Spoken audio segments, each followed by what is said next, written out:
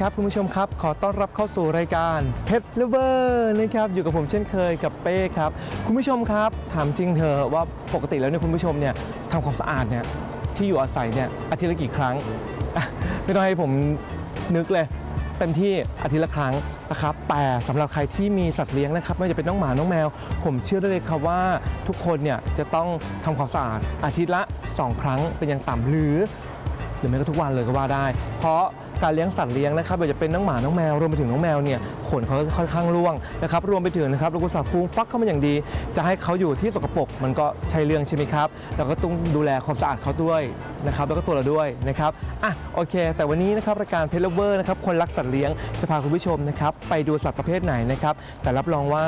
ถูกใจอย่างแน่นอน พักกันสักครู่ เจอกลับมาช่วงหน้าครับ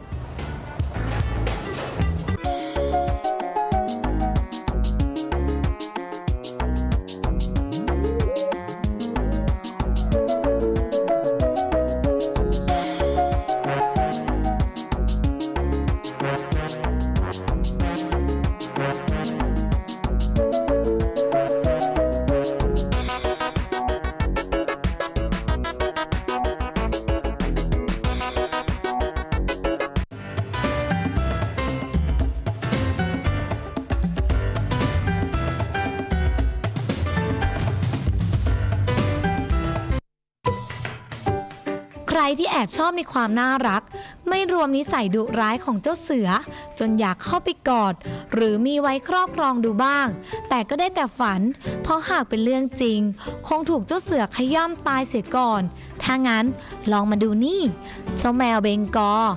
แมวป่าที่ผสมกับแมวบ้าน จนเกิดลวดลายสวยงาม รูปร่างหน้าตาไม่ต่างจากแมวบ้าน ดูไปดูมาเหมือนลูกเสือดาวตัวน้อย และยังเป็นที่นิยมในหมู่ไฮโซอีกด้วย เพราะสนนราคาต่อตัวค่อนข้างสูงเลยทีเดียว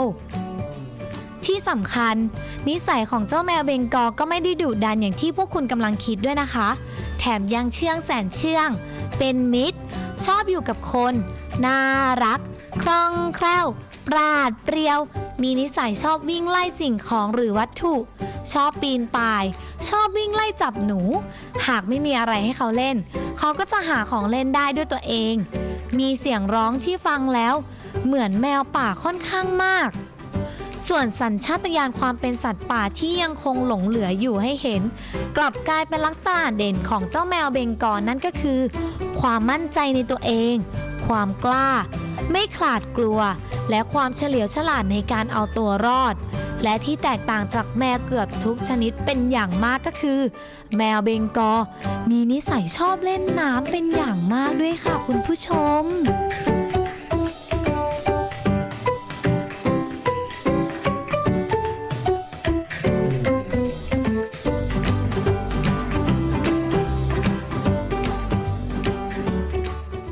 ากอยากให้แมวสวย สุขภาพดี และมีขนที่สวยงาม การเลือกอาหารที่ดีให้กับแมวนั้น จึงเป็นเรื่องสำคัญ อาหารสำเร็จรูปที่ดี จะช่วยให้คุณมั่นใจว่า ขนและสุขภาพของแมวนั้น จะสวยที่สุด ส่วนเรื่องของการตัดเล็บอาบน้ำ แปรงขน เช็ดหู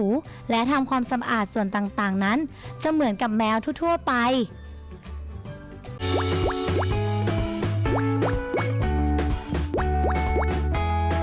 Bye.